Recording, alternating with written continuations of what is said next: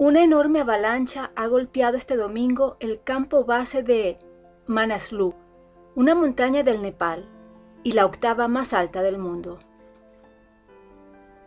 Es la segunda avalancha en una semana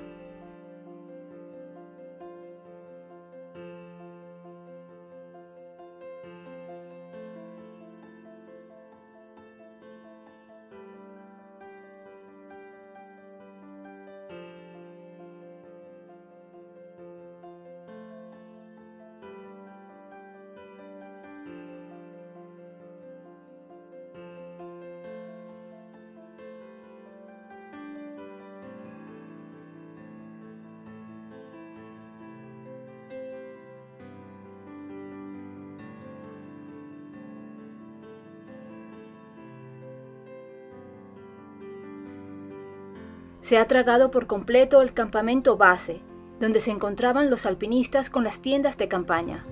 Hace tan solo unos días, dos escaladores murieron por un desprendimiento similar y 12 resultaron heridos.